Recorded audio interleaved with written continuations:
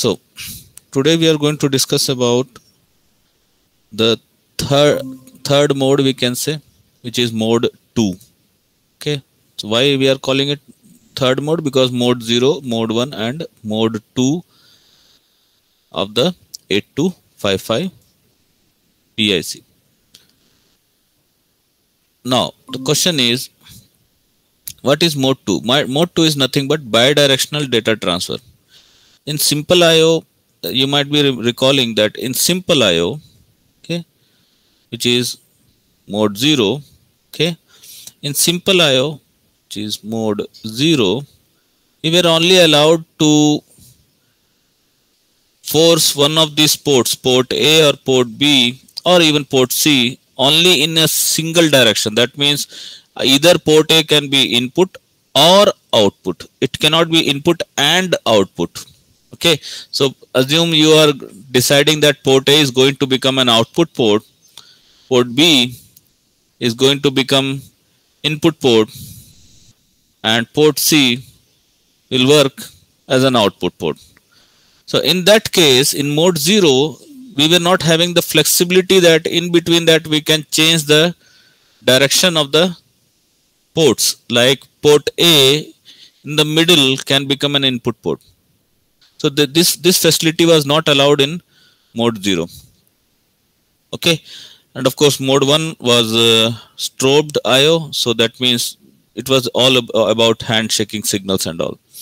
Now today we are going to look into the bidirectional data transfer. That means the port A because remember mode 2 is supported only by group A. Okay? Only group A can work in mode 2 group B no it cannot. Group B can work either in mode 0 or mode 1 so mode 2 group A can work and that is bidirectional data transfer. So only port A will be having this feature of mode 2 so bidirectional data transfer means port A we can switch between input and output port and that's why we are calling it bidirectional. That means it can work in both input and output direction. Okay so let us see how that actually works. So in this mode mode 2 in mode 2 port a can work in bidirectional data transfer mode. Now coming to port b. Port b like i said can only work in mode 0 or mode 1 mode 2 is not supported by group b. Okay so group b remember port c lower and port b makes group b.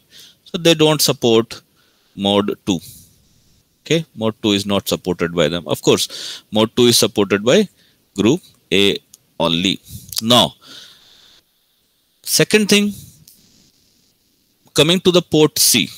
Port c 5 bits of port c. Okay 5 bits of port c can either be used for normal input output? First thing normal input output it can be used as a normal input output. Or 4 bits of port C. Out of this 5 4 bits of port C and 1 bit of port CL okay? Lower bit. 1 bit from the group B's port C's lower bits. Okay? So total 5 bits. 4 from port upper one from port lower. So 5 5 bits will be used for generating handshake signals for port A. Remember handshake signals? STB strobe input buffer full right? And then in, in in place of strobe what will be there? In place of input buffer full you will be having output buffer full. For in place instead of strobe what will be there in the output? Because this will be working in the input mode. What was not about output mode? What was the signal here? Acknowledge remember? So these four signals of course four bits will be needed. But of course one one more signal was there which was intr okay? So therefore you can see here in total five signals are needed for handshaking because now the port A can work both in input as well as output mode. So of course, these four signals for handshaking will be required at the same time. An interrupt will be required which we will call interrupt A INTR A because mode B is not going to have interrupt because it will work only in mode 0 or mode 1 okay. So 5 bits of port C will be used for handshaking signals or for input output normal input output. Rest of the bits 3 bits because 8 bits are there in port C 5 is gone to the handshake and input output. And rest of the 3 bits you can use for handshaking for port B. When port B is used in mode 1 in mode 1 of course port B can be using handshake signals. Okay otherwise if you don't need these signals to generate the handshaking signals you can use them for simple input output just like the rest of the five. So in total all the eight bits can either work for input output purpose or 5 bits will be required by port A for handshake signals. 3 bits from port C lower will be sub providing the handshake signals if if and only if B port B is in mode 1 so this is the so-called permutation combination that we can have in bidirectional data transfer do you have any doubt what I am saying and how the things are going to work now? Anyone having any doubt till this part? Remember only port A supports bidirectional data transfer. Okay. Port B do not support mode 2. So that means we can use port B in mode 0 or mode 1 and of course, if it, it is working in mode 0, you don't need any handshake signals. It is simple IO. But if port B is working in your mode 1, which is handshake signals are required in that, in that case, 3 bits from port lower, port C lower will be providing the handshake signals. But if assume port B is working in mode 0, then you can use these 3 bits for simple input output operation. Similarly, you can use 5 bits for handshaking signals for port A or they can be used for simple input output operation. So this is all about the total all the three ports of port A, B and C. Okay. Now the control word for mode 2. Control word of course this D7th bit should be 1 if you want to push the IC8255 in IO mode. Of course, if it is 0, then you will be going into BSR mode, bit set reset mode, and that is not required here. So, of course, you need input output mode, so you will put it 1 here.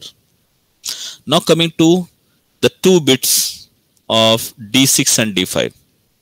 So D6, D5 because you are going into mode 2 mode 2 that means two bits you have you can have 0 0 0 1 1 0 and 1 1 right so this combination was used for mode 0 okay this combination was used for mode 1 so now we have two options available with us to generate mode 2 so that means we can make it this combination. That means one and don't care. That will lead you to mode 2 okay?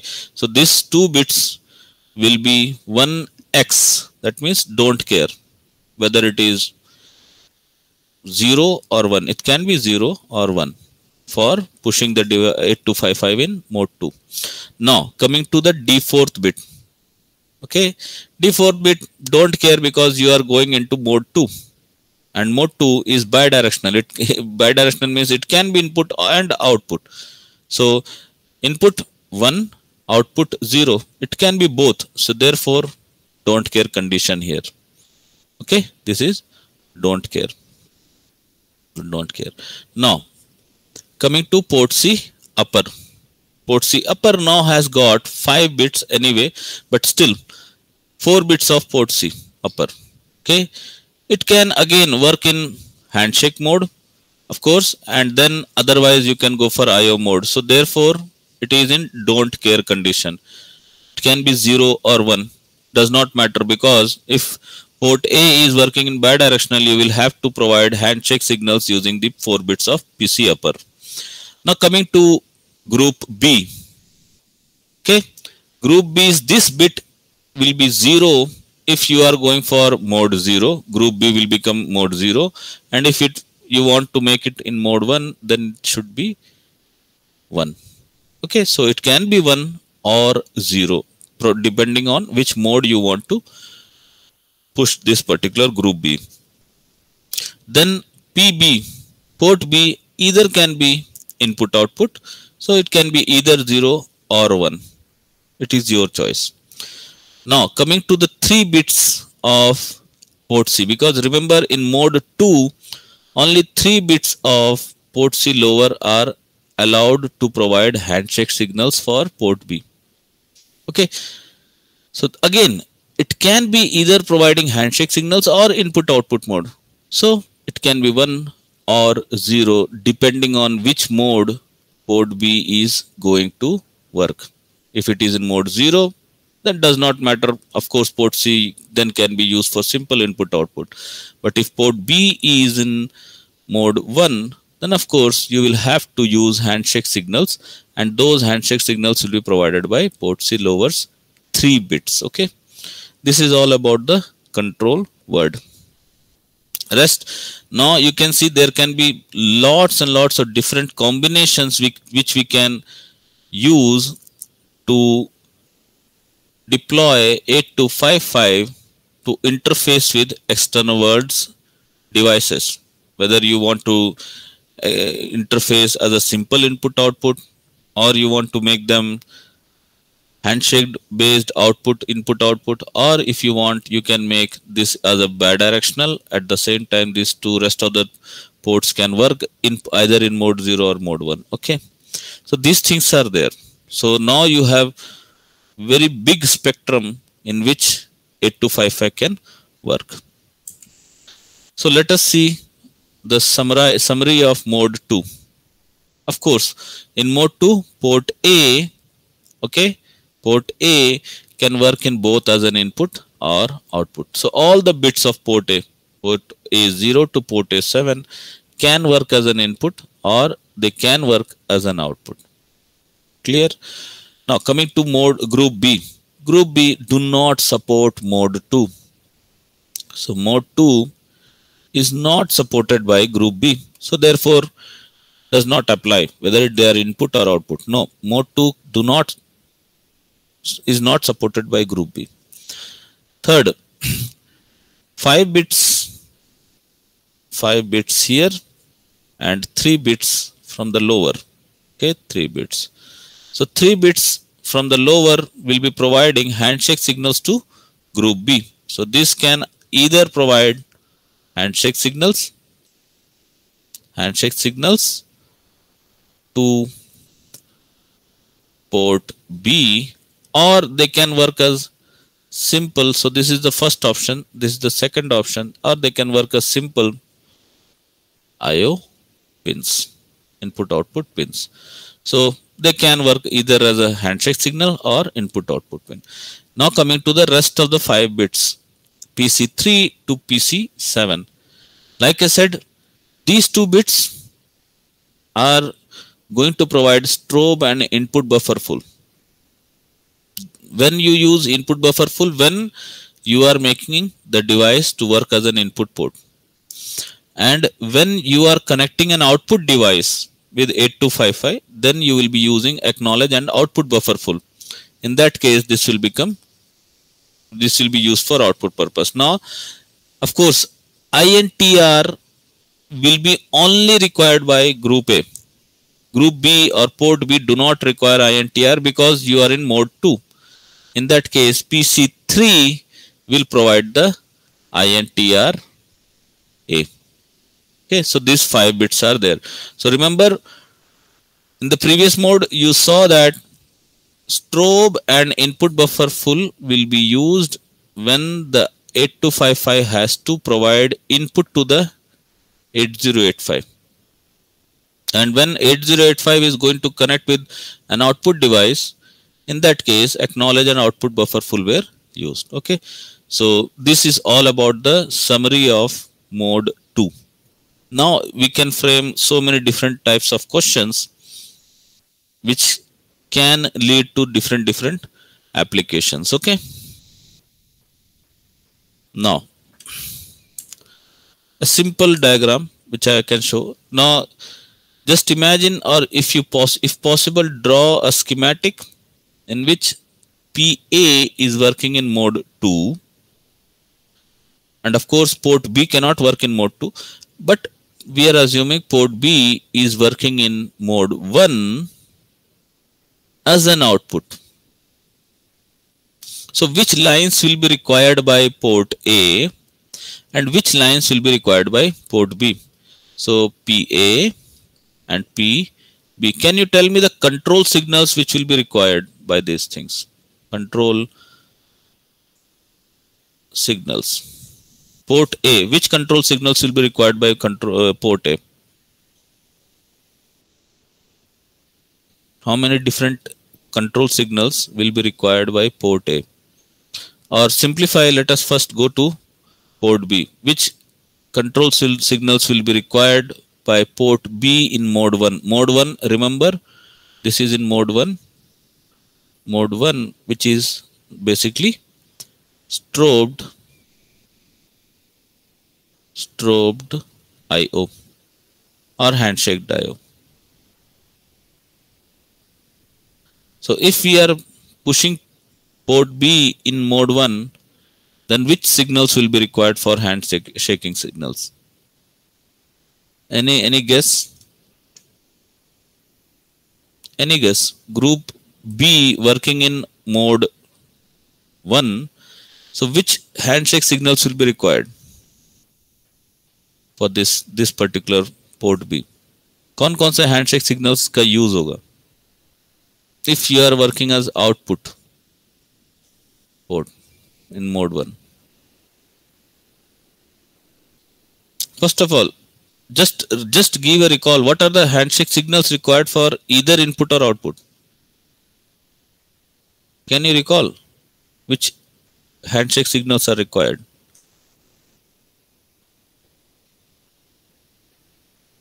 come on anyone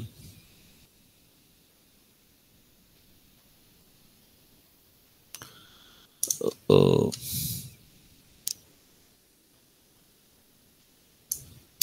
Prachi Gupta hello hello Prachi Gupta non reply Prabhat Prabhat can you come online hello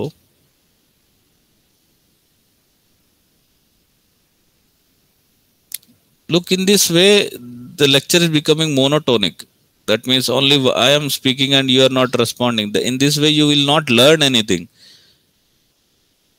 I am not expecting that you you will be answering all the questions. It is not possible because you are here to learn something right? So there is no harm to say i don't know even at least you can say i don't know. There is no harm in that.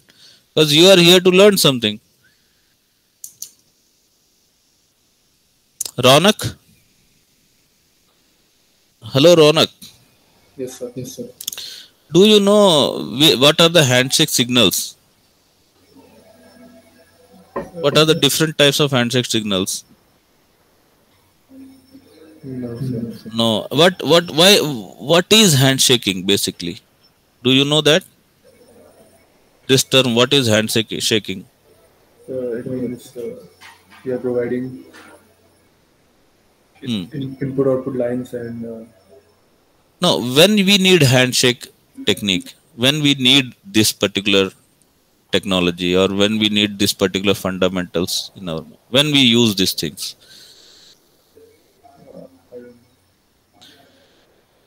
कब ज़रूरत पड़ता है handshake signal का मतलब life में जब हम of course mathematics कर रहे तो हैंडशेक सिग्नल्स तो अभी तक सुने नहीं होंगे तो इन 8085 when we use this particular term handshake. When we use outer help, when you need outer help. Okay not that precise. Kunal? Kunal mathur. Hello? Sir. Uh, what do you mean by this handshake technology? What why we need this thing first of all ज़रूरत क्या है इसकी?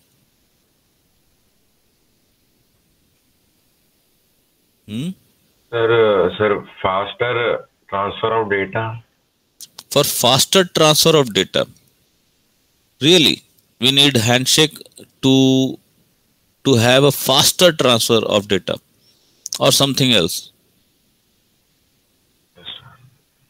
Fast transfer के लिए handshake technique use करते हैं। और थोड़ा सा प्रिसाइज जाओ। फास्ट के लिए तो नहीं यूज़ कर we don't use handshake signals for faster transfer precisely speaking can you give me an example और any analogy when where we can use this handshake technique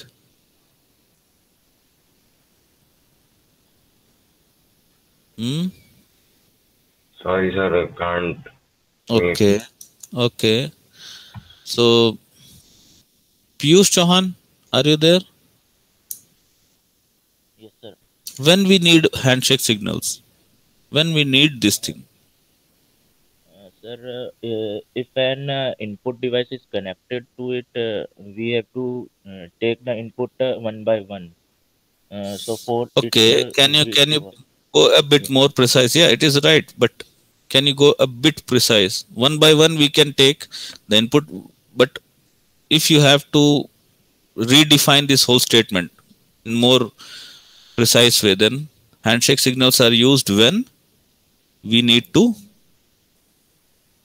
we need to mm, output or input uh, things um, uh, Mhm. uh, not without uh, losing the data. Uh, right but wh- why you will lose the data why you are afraid that you will lose the data if there if we are not able to display or transmit it before we take the other input or uh, output. Okay in which conditions this this kind of scenario can appear? That you are transmitting something but it is not displaying or not not received by the the device. When you will have this problem? There is some sir, uh, we work on clocks the okay let uh, okay let of course of course. You are there you are you are there but uh, almost you are very close to that but you are missing the word. Okay let me let me define redefine the things again. Okay. So i have a laptop. Just please try to understand why we are studying this. It is not just to mug up the things. These technologies are very much required when you use something to design some product. So i am using a laptop.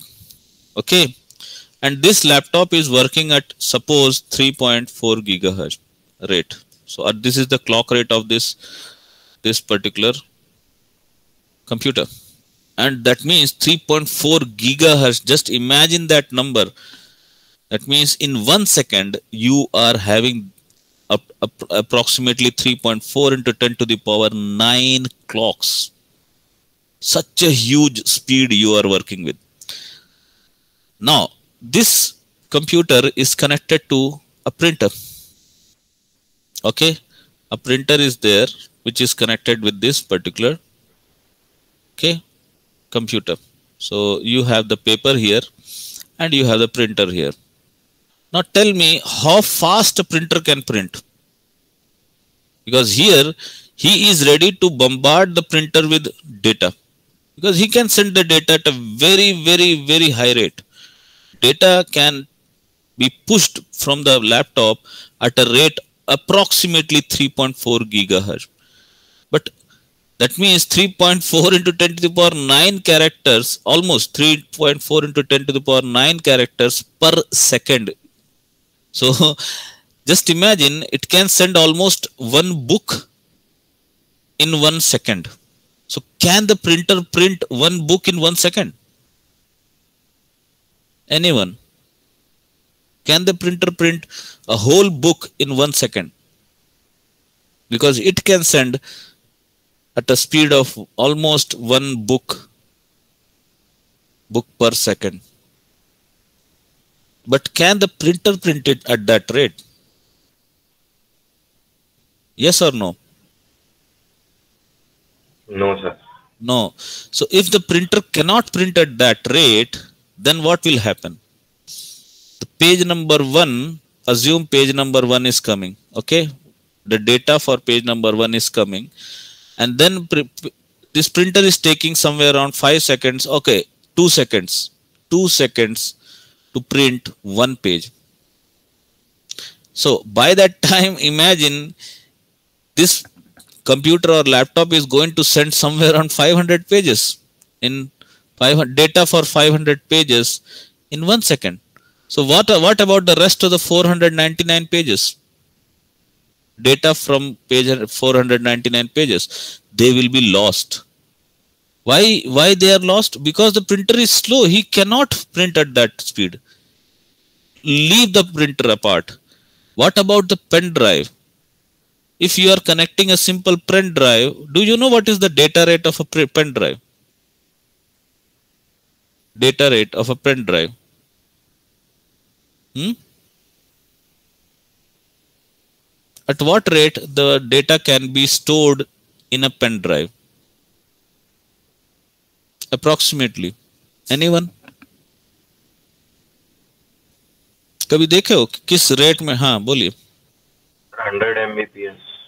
Up, approximately okay maximum you are saying 100 mbps go and check it 100 mbps. If you are assuming in one second he can transmit 100 mbps then in that case a whole movie of 600 mbp mb will take only 6 seconds have you tried it? In 6 seconds, you can download one movie in pen drive. Almost no. Still assume assume it is 100 mbps. No issues. But this is this can work in gig, gigabits per second. So the pen drive cannot take that much of data in that speed. So what will happen? Again you will have lost data. You will lose the data. Now what is the solution to to overcome this particular error? That means you don't want to lose the data but of course you have two devices which are working at two different speed. Printer which is damn slow. Usb drive which is okay no no doubt it can handle quite fast speeds. But even apart from that if you think about the hard disk the hard disk can work somewhere around 200 to 300 mbps. That's all. They cannot go faster than that. If you are using normal uh, hard disk which which rotates at 4600 rpm or 5000 approximately 5000 rpm or otherwise you have to have barracuda cheetah or you have to have ssd hard disk. But still even in that case microprocessor is very very very fast compared to them. So for to, to make any data transfer you are ready to lose the data. No it is not feasible. You cannot lose the data even a single bit. Even a single bit if you lose all the data will be getting getting corrupted after that because you have to make one message will be of some some certain number of bits will be required to for example if you are having assume this this bit has to be transferred to my computer. Okay? So 4 bits 4 bits 4 bits 4 bits. Among this particular data this is what? 5 uh, 6 oh, here 1 2 3 Okay, one more bit okay. 1010 okay a.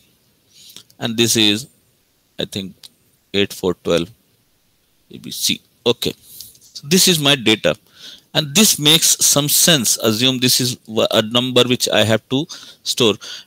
If i miss any of these bits now the data becomes 0101 0101 010 1 1 0 and now you see 4 4 4 okay 0 and what is this bit? This can be anything 0 or 1 but still you see the message 5 5 5 and something 8 or 9 or whatever so just imagine a single bit even losing a single bit can corrupt your whole data. Your whole movie your whole file will be getting corrupted if you miss a single bit. And that too when you are working at a speed of this particular clock rate. So just imagine we cannot we cannot tolerate this thing losing data. Even a single bit leave apart the pages and a, a song or something even a single bit can co- corrode your whole message. So now the question is how you are going to handle it. For that you need handshaking signals. Because you will not write the data until unless you receive a signal from the printer that okay send me the next data. Okay send me the next data. For that time period the pc should wait because waiting is okay but losing a data is not okay at all. We can wait rather than losing something. So that is why we need handshake signals. And therefore if we are working in input we'll be using strobe and strobe and input buffer full. If you are working for output mode you will be using acknowledge and output buffer full and of, of course they will be used along with the intr intr so these are the handshake signals which you require to have a communication between slow and a fast device without losing a single bit. This is why we are teaching this thing. Otherwise there is no sense to teach this thing. You if you don't understand the importance of a single bit even a single bit then there is no sense to to know all these things. It is not acceptable that you lose uh, even a single bit out of millions and billions of bit. Because a single bit missing a single bit will corrupt rest of the all the bits after which are which are coming after that. Understood? Anyway so that's why we need handshake signals. So just imagine port b is working in output mode and in mode b so port b is working in handshakes handshakes handshake mode okay? So it is in handshake mode. So that means because it is output you need to have acknowledge. Number two you need to have obf and port a is one working in mode 2 okay? So it can have all these three signals stb strobe okay uh, input buffer full. Third you will have acknowledge. You can have output buffer full. And of course one signal for intr a so these will be the control signals for port a okay. So the control signals for port a control signals control signals. They are controlling the data rate or controlling something. Okay similarly the control signals here. Control signals here. Okay so these are the control signals for port b. Now and intrb okay so this is what the question was. So these are the signals. Port a because it is in bidirectional mode so the arrow is in bidirectional. Output buffer full acknowledge. Okay? These two are used when you are using the device in output mode. Input buffer full. No ibf should be opposite. Okay? This arrow should be opposite. So this is for when you are using the device in input mode. Intr a. This is for intr purpose. Intr a. Rest these three are for putting the port b in output mode output mode acknowledge output buffer full intr b because port b is in output mode clear and this arrow should be opposite wrong this is not input okay So this arrow should be here. Okay, clear. Port B is working in output mode. Okay. Similarly, you can have different different questions like port A is in mode 2 and port B is in input mode. Okay, this is correct. So output buffer full, acknowledge. Input buffer full should be arrow should be this direction, not this direction. Strobe is not in this direction, it is going outward and INTRA. So this is correct. And simple IO mode because port B is in input mode. Okay, mode 0. If it is in mode 0, simple input mode put. So the rest of the three bits from port 2 can work in simple input output mode. This kind of so many different permutation combinations can be utilized now. All you need to know about the bits programming and all. Now we are going to start with another IC, okay, which is your uh, 8254. Now remember the name, it is programmable. Of course, you can program it and it is interval timer. So interval means you can have specific events at after a certain interval and you can use it as a timer. What does that mean? Timer means to generate a particular event after a certain time. Okay, just like an alarm or or a particular pulse rate generator or something like that. Okay. Even you can use it as a clock for some other device or external device because clock means generating a pulse after a certain time. So 8254 is used for this purpose. Remember why we are using all these devices because look you have the MPU microprocessor. If microprocessor is going to generate a clock assume if, if we are going to write a program for the microprocessor to generate a clock 0101 so what you are going to do? You are going to make a loop in which microprocessor will count a certain time. For that time period you will keep the port low. Then after that you will go up again same count you will make it high. Then low then high. But this is again this is polling technique.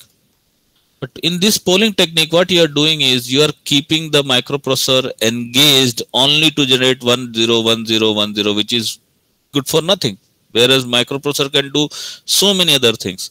So that's why what we are doing is we are using the MPU the MPU will set the peripheral ICs PPI peripheral ICs okay PICs okay peripheral ICs and then after that first writing the control word the IC will start working in that particular mode and the microprocessor will stop controlling this IC and he will go for some other job so the micro this IC will do that task and then at the end of the task it will inform the microprocessor that look I have completed my job.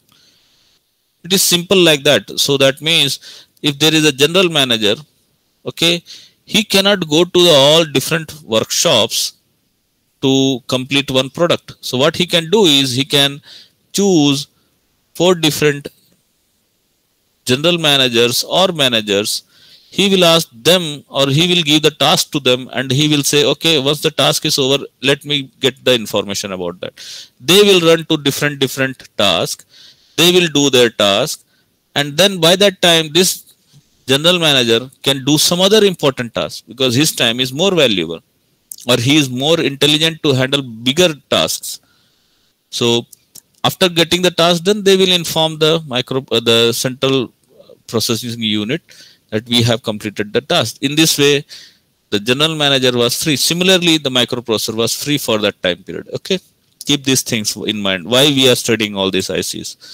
Now, coming to programmable timer IC. What are the features available with this IC? First, we should know the features. Then we will know how to make them work in that particular feature.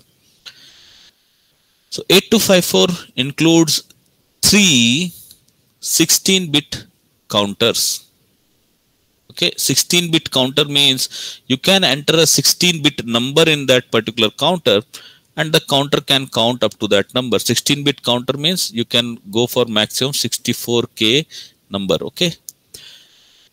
Approximately. Okay. Now that can operate in six different modes. That means you can take the timer IC and they can work in 16 uh, sorry six different types of modes. Just like you have the mobile there is a clock in that mobile but you can use that same clock in so many different ways. Like you can use it for alarm. You can use it for stopwatch.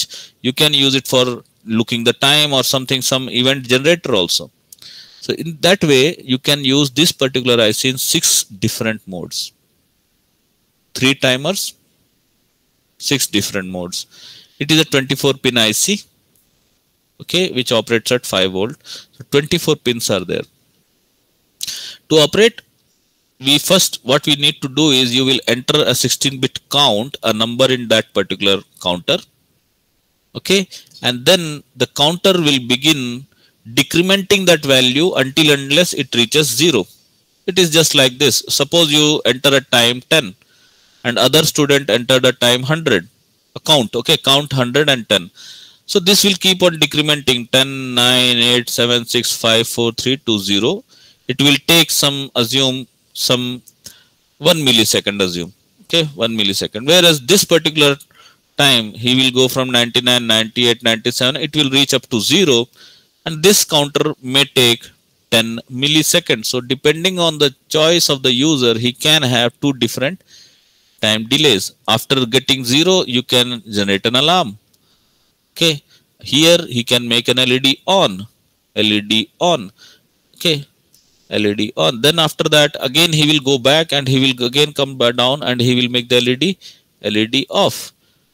Off. So in this way he can make a blinking sequence. At the same time he can generate an alarm after every one millisecond. So there can be three such clocks in which you can enter maximum 16 bit count and they can decrement until unless they reach zero. After they reach the zero they will inform the microprocessor that we have reached the zero. And for that they generate a pulse to inform the microprocessor that okay we have completed the count. And that pulse that pulse okay pulse means a small 0 to 1 okay? Pulse can interrupt the microprocessor. Interrupt. Remember interrupt means microprocessor will be doing his normal task. He will not be looking into this particular IC after he engages the IC to do certain time related event. And then the microprocessor will get an interrupt from the IC this IC okay this IC will send an interrupt. Okay interrupt to the microprocessor. And interrupt you know what happens when the microprocessor you need, gets an interrupt. The microprocessor will stop its current time and depending on the interrupt service routine he will do that particular job. Okay counters can either be binary or bcd that means this count that you are going to put into the counter you can either enter a binary number okay or you can enter a number and you can inform the counter that look this number is binary bcd what does that mean? Bcd means 0 to 9 and this one means any sequence 0 1 0 1 1 0 something like that so these two number co counting number systems are allowed it, it, it does not allow hexadecimal or octal numbers it allows only either binary syst number system or BCD number system. We will see that. Okay, so these are the feature. And count can read the MPU while, okay. The microprocessor can read the current count, okay, without even interfering the counting system. What does that mean? It means if you are at, you entered a number 100, so the count was decrementing 99, 98, 97. Suppose at 56, it has to go up to zero, okay? But at 56, you want to check what is the count right now. So the microprocessor unit can read the count without disturbing the counting. Okay, it can check right now what is the count and the counter will not stop at that time. It will keep on decrementing in the same rate. Okay, but in between that microprocessor can check the count. This facility is also available without disturbing the counting. You can check what is the current count. Okay So these are the features of this particular IC. Now let us see how the block diagram look like and how the particular IC works. Okay. First of all, the data bus. Data bus, of course, will be required to upload the number or the count in the counter. Okay, so this is going to connect with the 8085. So 8085 will load the number into the counter using this particular data bus. Now coming to the control signals which are available with the 8254. What are the control signals? You can read. Who can read? The microprocessor can read the data. Similarly, the microprocessor can write the data. Okay. So when you have to write the counter value in this particular IC, microprocessor will send a read command and he will upload the number. When in between the count, if the microprocessor want to read the current count, for example, it was counting from 0 100 and in between 100 to 0 in between that suppose you want to read you can microprocessor can activate this signal to read the count. Of course now you have three counters counter 0 counter 1 and counter 2 and control word register. So these are the four important addresses you have to decode. For for four addresses of course you need two address lines A0 and A1 just like the that was there in the 8255 also. Okay? So two address lines to to select either to go to counter 0 1 2 or control word register. So A0 and A1 will be used for that. Chip select of course you will have to activate the IC for that you will have to first activate the chip select by making it low because it is CS bar. So here you have the bubble. So you have to make it zero. Then only this particular IC will be activated. Now, there are three things that you can control in every counter. What are the three things? The clock. So there are three pins for clock. That means you can provide three different clocks to three different counter. What does the clock, what is this clock going to do? Okay, let me give a simple example. Uh, group A or a student A and group B or a student B. Okay, student A and student B. So this student uploaded a counter, he is using counter 0, counter 0 and he is using counter 1. Okay, in this counter he uploaded a number 10 and this counter he uploaded 100 but unfortunately, what they did was here in this, he used a clock, okay, which is slow. Assume he used a clock which is working at 10 hertz. Okay, and here he is using a clock which is working at 1 hertz. Okay, so two different clocks are there. So even though the count value is different, both will be ending at 0 at the same time. Is it clear or not? Because you see there are two different clocks. So by the time this counter completes 100 and this counter completes 10, both will be reaching 0 at the same time. Right? Because this one is very slow, 10 times slower than the clock 0. Is it clear? So depending on the clock rate, okay, the counter will decrement the count. So for that, you can have three different clocks available. So you can have clock 0, clock 1 and clock 2.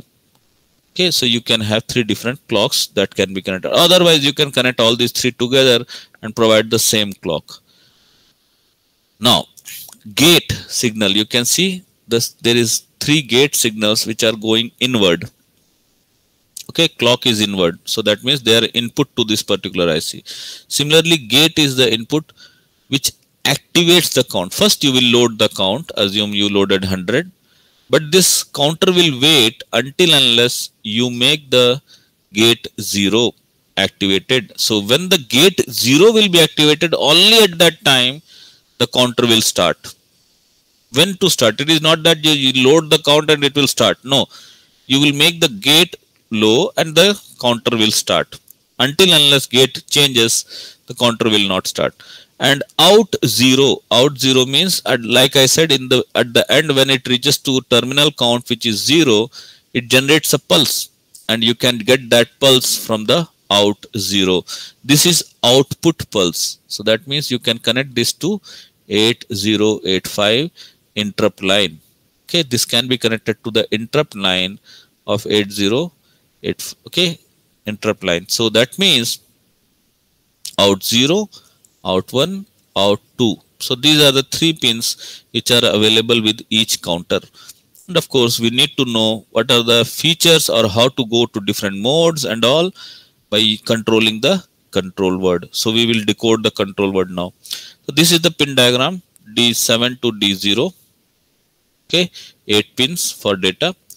Clock, out, gate for group 0 or you can say counter 0. Here you have counter 2 counter 1. So 0, 1, 2. Ground and VCC. It is always necessary for every IC. Ground and VCC. Then only they will have the power. Chip select to activate this IC. Rest read and write. The microprocessor can either read the value of the counter or it can load a number into the counter. For that he will use read and write. A0, A1 because you need to select the counter 0, counter 1, counter 2 or the control word for that you need 2 bits. So A0, A1. Clear? This is the pin diagram. It is not that difficult. Okay. So let us go a bit deeper and check about the control word register because this is the register which will be used to configure the working of our timer slash counter. So what are the pins available or what are the bits available and how they are used. So first of all these two bits D7 and D6 are known as select counter okay SC SC1 and SC0 select counter 0 when both are 0 0 1 1 0 1 1 so of course you can go to counter 0 1 2 using these three pair. Okay 0 0 0 1 1 0 now the last number is 1 1 of course so this number will be or this if you put 1 1 in this particular control word register you can read back command. Read back means you can read the particular value of the counter so this this is the these are the four combinations of sc0 and sc1 now coming to RW1, RW0, read write 0, read write 1. So what are these two bits going to do? Again 0, 0, 0, 1, 1, 0, 1, 1. Okay, so these are the four possible combinations. So there are this counter latch. I will go deeper into that later. Okay, so counter latch, if, if you are going to use 0, 0, the counter will be latched to the microprocessor. To write the, because remember, you have 16 bit counters. 16 bit counters. So that means microprocessor 8085 is 8 bit right? But the counter is 16 bit. So definitely you will need to send 8 bit 8 bit two times or you will have to send two bytes to the counter so that it can get 16 bit count value. Okay? So for that if it is 0 1 read write. Okay? So if it is 0 1 you read or write the lower significant bit LSB okay? LS byte. Okay? And then if it is 1 0 you are going to read or write MS byte. Okay? So 8 bit 8 bit. So first is lower 8 bits and then you can write or read higher 8 bits. And last but not the least if it is 1 1 then you will be reading or writing first the ls byte then the ms byte.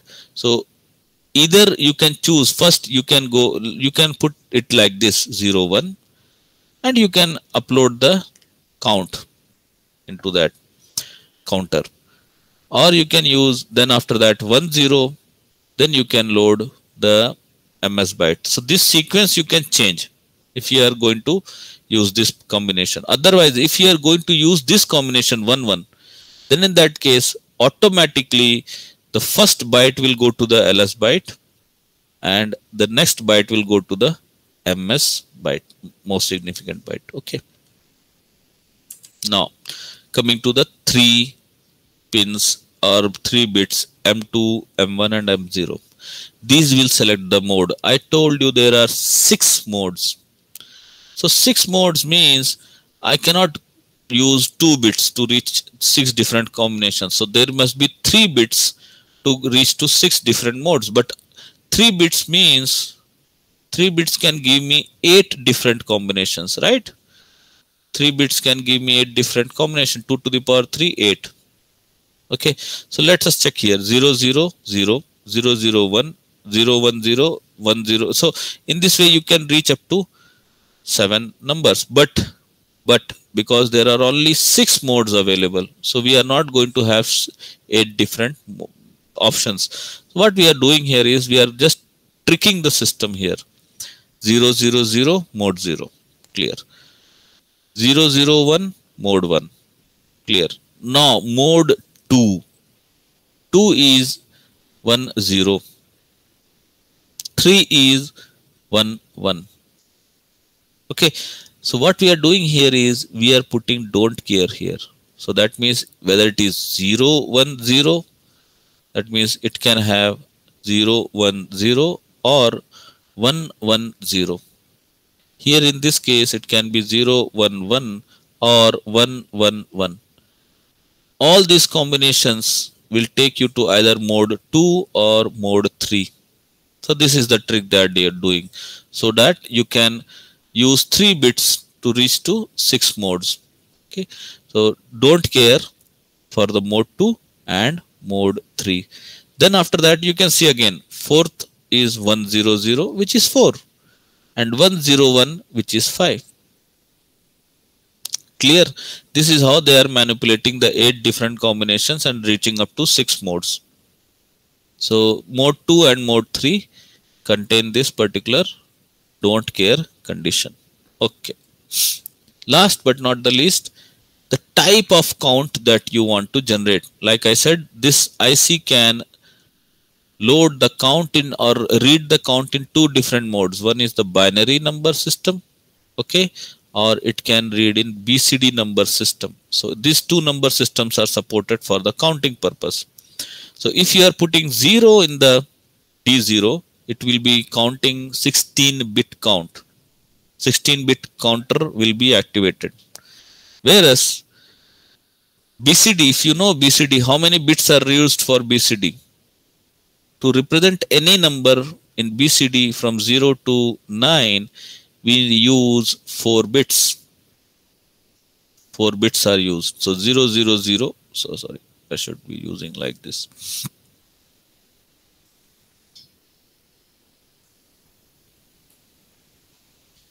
Yet a second.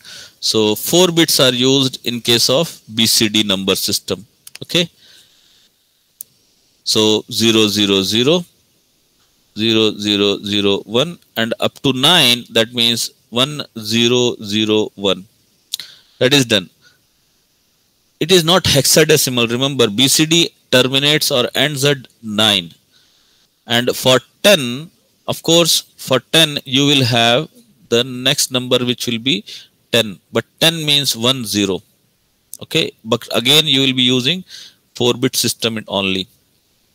So 1 0 means here if you are going for 1 0 in BCD number system you will be using 0 0 0 1 and then 0 0 0 0.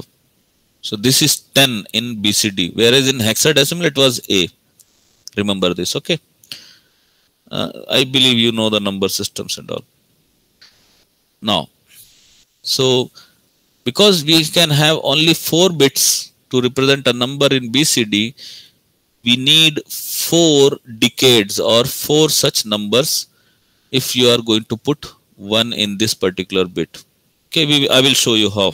Okay so bcd or binary counting system. So this is what the control word can handle. All these four different four three different counters or read back read back because the microprocessor can read the count. You can latch the counter you can re- read or write the lower significant bit upper significant bit or you can use one one in which automatically first byte will go to the lsb and second byte will go to the ms byte of the counter okay? Three bits to decide six different modes. 0 0 0 0 0 1 1 0 1 1 1 0 0 1 1 0 1 5 okay 0 to 5 six different modes. 0 for binary counting and 1 for bcd counting. Okay let us move ahead. What is mode 0 first of all mode 0 is also known as interrupt on terminal count. So when what is terminal count? Terminal count is your 0 that is the final count. So this counter or this particular ic is basically a down counting or down counter ic okay it is not up counter right now.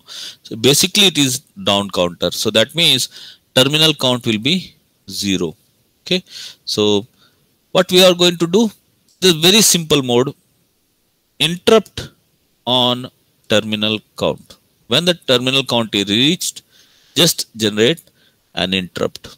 So let us see what this particular thing is doing. Mode 0 is typically used for event counting to count a particular event. And after the control word is written out is initially low. Okay? Because you know remember the count each counter has got the count that you can enter the gate which will start the counting and out which will be the signal or the pulse which will be informing the 8085 so count the out will be initially low. That means when it reaches the terminal count it will generate a high. Okay? So and will remain low this particular out pin will remain low until counter reaches 0 okay and of course the counter decrements by one after every clock. So the clock the, that you provide will decrement the count by one. Now out goes high okay and remains high until a new count or a new mode 0 control word is written into the counter. So that's all. That means it will just count from the value that you give to 0 and stop. Simple as that. Okay? And before going uh, after uh, when it reaches 0 it will generate a pulse. Simple as that. There is no complicated work here. Gate is needed to start the counting. So if you give 1 to the gate the count will start. If you give 0 the count will stop. Simple as that. Let us check how a user can work or use mode 0 so we have this clock in our hand right? Uh, this is working automatically so wait. No issues. Hmm. so this is the first way that you can use. So you can check here. I have made two different colors here. I believe you can see. One is blue and the other one is brown. Blue and brown blue is appearing when the pulse is coming down. Clock is coming down. Okay? And brown when the clock is going up. Why i'm going in this detail? Because i, I took made this thing from the data sheet. So I, I followed the data sheet to make it. So in books these things are not provided in detail. Okay. So the event only activates whenever the pulse is going down this is one very important thing. So you see here. Here okay. So when the pulse is going down no pulse is going up okay. Pulse is going up here. Now let us start looking into the system. So you will have the count. Here the count is 4 so you entered the count into the clock okay. So for that you will need write signal so write n n is 4 here equal to 4 here. Okay? So you entered the count in the counter. Okay? Whichever counter you use whether you use counter 0 counter 1 or counter 2 it is your choice. So you you have all the freedom. So assume you have chosen a counter and you are entering a count into that counter. So you wrote the value here at this time. Okay? At this time you wrote the value and then what will happen? Assume you will make the gate low the counter will decrement after every pulse. You see here this is the clock period okay? So this is the clock period. So every clock period the count is decrementing by one and it will reach to the terminal count. So initially like i said initially the counter will be zero output will be zero and when it reaches the terminal count it will become high and it will remain high until unless you load a new counter value or you re enter the mode 0 till that time it will remain high always high. So this is mode 0 first thing. This is one of the options. Second options that like i said you can control the counting using the gate pulse also. So what here we are doing we are entering a number 5 count is 5 here. So the after writing this count okay the gate was high. You can see here the gate was high. That means the count will start from here. 5 and 4 but after reaching 4 we made the gate low. Okay? So remember the count will remain in that same position. It will not be 0 or something. It will stop and then we you can see here we made the pulse again high. The gate is becoming high again. So the count started from 3 2 1 and 0 and you can see the output. Here the output is high. It went low.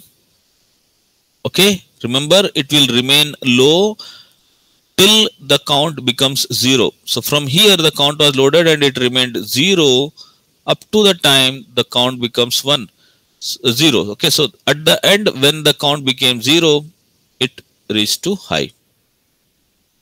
Okay so this is how you can control the counting scheme using the gate.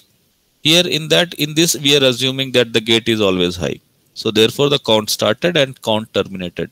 When the count terminated the output line became high.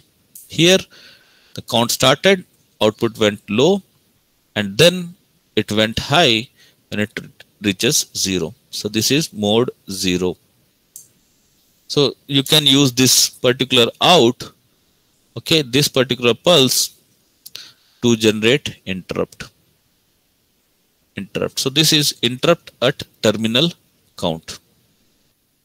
Okay. Example. So this is the question. Assume gate 1 is 1 okay. So that the gate is always high. Assume. Okay. So the moment you load the counter it will start. You don't have to wait for the gate to become 1 in this case assume the gate is 1 and the clock here we are using 1 megahertz and clock 1 clock 1 means you are using counter counter 1 okay? So clock 1 of the counter 1 is 1 megahertz. So you have connected the clock to that particular counter and count you have entered 1000 okay? Show the output of out1 if it is programmed in mode 0 so show the output or draw the waveform output waveform of out1 because you are using clock 1 if it is programmed in mode 0 mode 0 is simple. Interrupt at terminal count. Okay this is the question. So let us see how you can proceed to solve this problem. First thing is you know the clock speed this particular clock speed. So that means every one microsecond, after every one microsecond, the clock is changing. Okay, this is one by one by one megahertz, you will get one microsecond. Therefore, out will remain low for this much time period. How much time period? 1000 into 1 microsecond because this will be clock and this is the count. Count into clock you will get 1 millisecond delay. So after 1 millisecond the out will go high. Clear? So out will take 1 millisecond to go high. That's all. So what is the waveform? Simple. This one. Clear? And what is the time period? The moment you wrote the value from there, it will take one millisecond and after one millisecond, the out will, will go high. Clear? Because we are assuming the gate is 1. Otherwise, we can definitely change the gate to stop the counting also. Okay. Any doubt till this part? Mode 0. Anyone having any doubt in mode 0? Remember this is a counter or or timer related IC. So you can generate timer or if such timing events at different different modes. Okay. So this is simple mode 0. Okay. Now from this previous example, assume the gate 1 became 0 for 400 uh, this is not 400 seconds because uh, it should be one second. Okay leave it. Let's see. 400 seconds. It should be millisecond i think. What will be the width of the low pulse of out?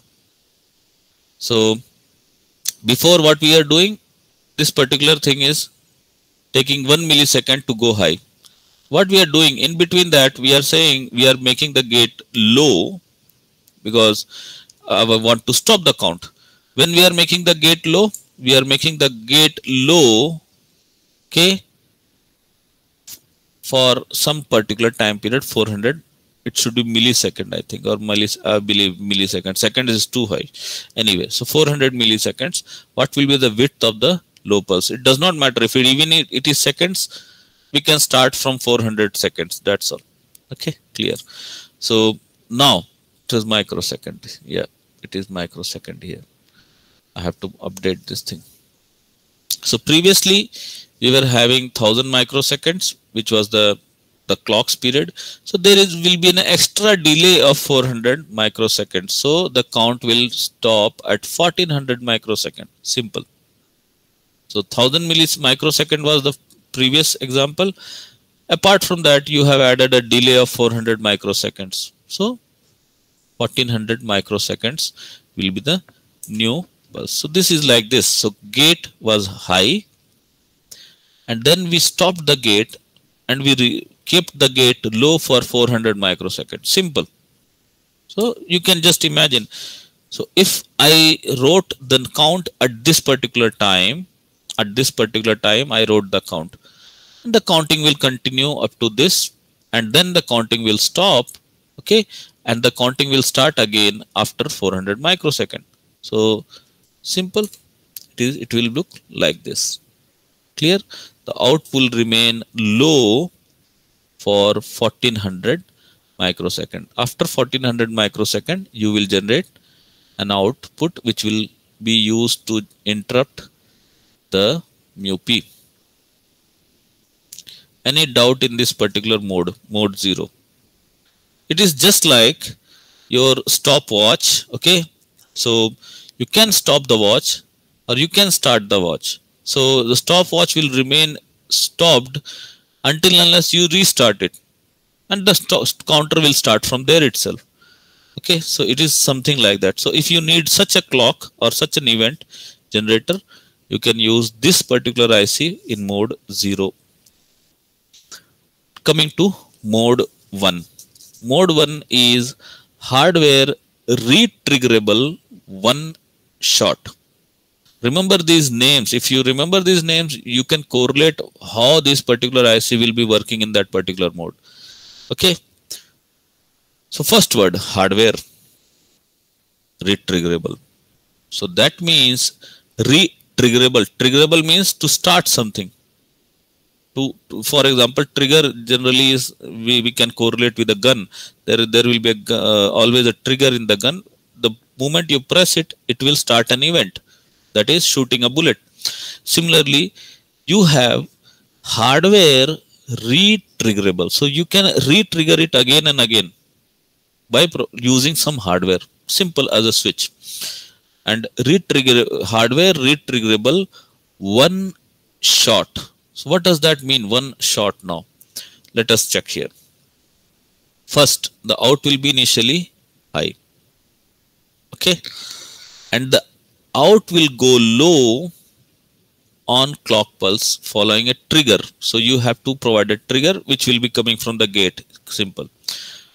To begin with the one short pulse. So one short pulse means like this one short pulse. And then whenever you want you can generate another short pulse.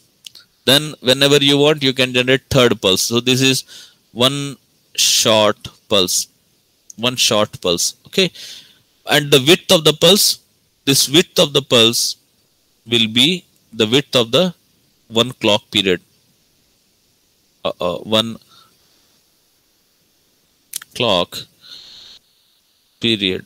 Okay so whichever whichever clock you have connected to the counter it will depend this width will depend on that particular clock.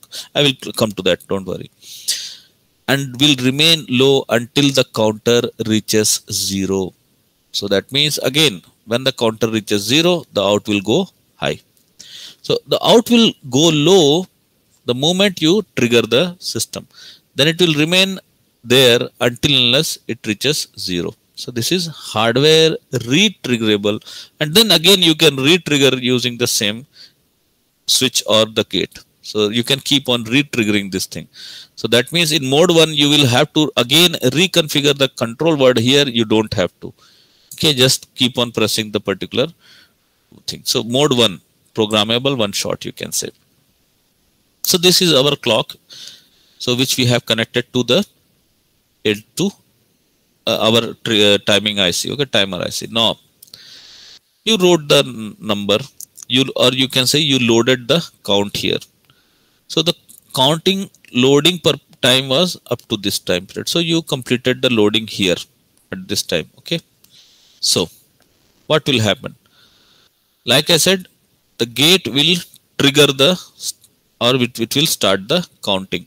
You can see here though the gate was triggered at this time okay the pulse is going up. The counting started when the the pulse went low. Okay don't worry about the going high or low because these are very minute things to remember. But still remember the count will always start in every mode. This is one important thing. Count starts on negative going pulse of clock. This is the feature of this particular IC the count will always or the output will change only when there the the clock goes low. Okay? This is very important. The output always changes when the clock goes low. Okay. If you don't remember don't worry so you entered the count 4 here because that's why you are starting from 4 here. And then the gate went high. That means you activated the gate. So count started at 4 3 2 1 0 clear. But here there is no re-triggering taking place. Okay? So how how we can re-trigger this particular thing? So for re-triggering suppose we made the gate work like this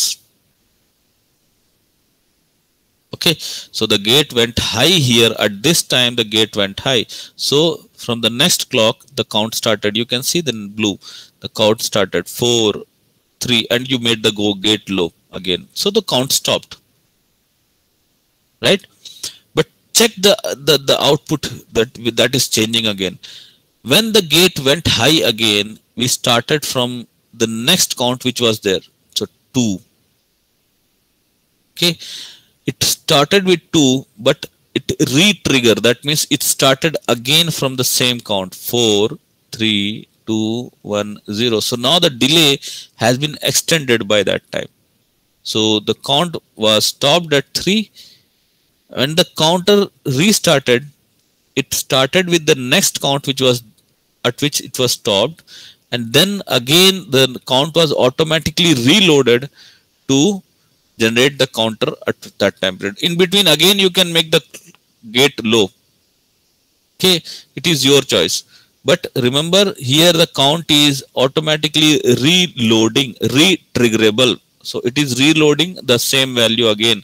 Whereas in mode 1, it is mode 0, it is not allowed. You have to re-enter the count. Here, no. It is re-triggerable. Okay. This is one feature. Okay, let us take an example of the question. What kind of question can be there? Suppose the clock is again 1 megahertz and we are using counter 1 that's why we have clock 1 here. So we have clock 1 which is working at a speed of 1 megahertz. And we are entering a number 500 now the question is show the output 1 if it is programmed in mode 1 okay simple. We are assuming the the gate will be triggered and it will not change. Because here it is not mentioned the gate is getting off or on something like that. So simple it is almost like simple. So assume that after 150 second question okay this is the second question this is first question. Assume after 150 clock pulses okay gate 1 is re-triggered then show the output 1 so one is when there is no tr triggering taking place re-triggering taking place and then in second case after 150 clock pulses we are re-triggering the gate. So show the output pulse. Okay, let us go for the solution number one. So the gate was not re-triggering, it was always high. So that means the count can continue working. So the gate triggered here. Though although we write wrote the value here, remember the here the, the number was loaded. In this time period, the count was loaded. But does not mean that it will start the counting. No. The counting will start only when the gate goes high. Okay? So the gate goes high here at this time. So you can see initially the out was high then when the gate went high the counting started that means the out went low okay and it will remain low till it reaches the terminal count. So terminal count is 0. So 500 was the count. So you started from 500. kept on going up to 0 here. So it will take 500 microsecond. Why microsecond? Convert this particular clock. 1 megahertz is the clock. So after every clock, you are changing the count. So okay so 500 499 498 and so on until unless you reaches 0 and then the output goes high clear here there was no re-triggering taking place is almost like the mode 0 no that no difficulty to understand that because there was no re-triggering taking place solution b now here the thing is we have after 150 clock we have re-triggered the gate. That means we have changed the state of the gate to 0 and again 1. So the count was again the same. Now, making output pulse duration 650 microseconds. Why? Because you re-triggered after 150 clock pulses. So 500 was there initially plus 150 clock pulses. So 500 plus 150 650 microseconds delay will be there. So how the output will change its behavior? Let's check. Same. The output was re-triggered.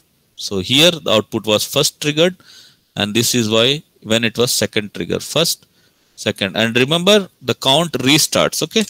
Let's check here. So the number was loaded here. The count will not start here.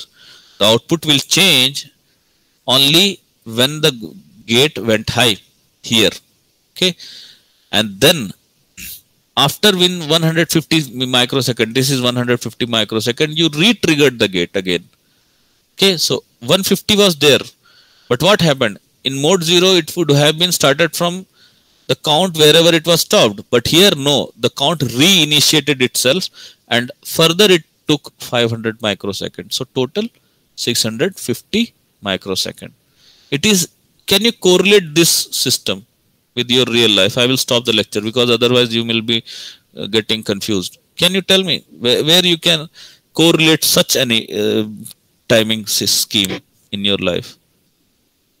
ऐसा कोई timing scheme तुम लोग अपने life में use करते हो? या ऐसा कोई भी काउंटर या एक इवेंट जनरेटर लाइफ में यूज़ करते हो? कोई भी। जहाँ पे रीट्रिगरिंग के बाद फिर से काउंट ज़ीरो से शुरू होता है और वहीं तक जाता है, बीस से नहीं शुरू होता। Anyone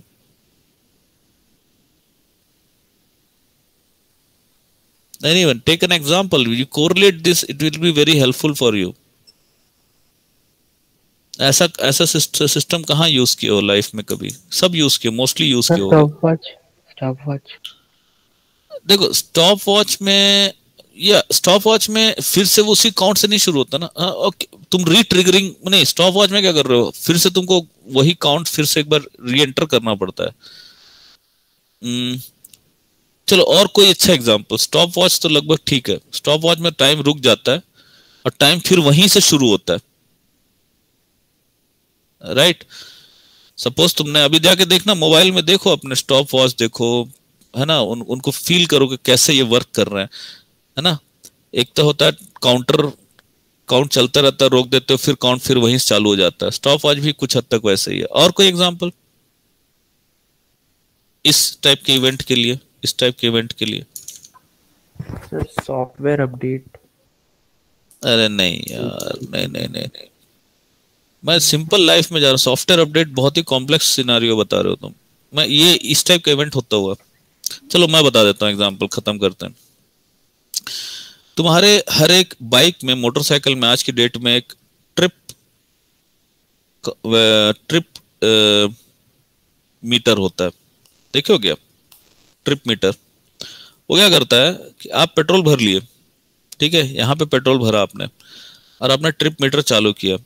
चालू करने के बाद मान लो आपके पास पाँच लीटर पेट्रोल था, फाइव लीटर। ट्रिप मीटर अपने आप काउंट चलता रहता चलता रहता चलता रहता, यहाँ तक आया। मान लो उसमें से तीन लीटर खत्म हुआ, जो भी हुआ, मेरे को नहीं पता कितना लीटर खत्म हुआ। इतने ट्रिप के बाद फिर से अगर मैं दबाऊँगा, फिर से रीइनिशिएट होता है ट्रिप, और ट्रिप फिर से नया चालू कर सकते हो। So there are two types of meter running in your motorcycle mo- mo- not only motorcycle car and everything which one is showing you the total petrol consumed या कितना distance total आज तक कार चल चुकी है एक ये होता है कि टोटल जब से खरीदे हो तब से आज तक कार कितनी चल चुकी है या बाइक कितनी चल चुकी है दूसरा तुम किसी ट्रिप में जा रहे हो तो तुम दूसरा एक ट्रिप काउंटर चालू कर सकते हो where you can check how far you have moved from your home or something.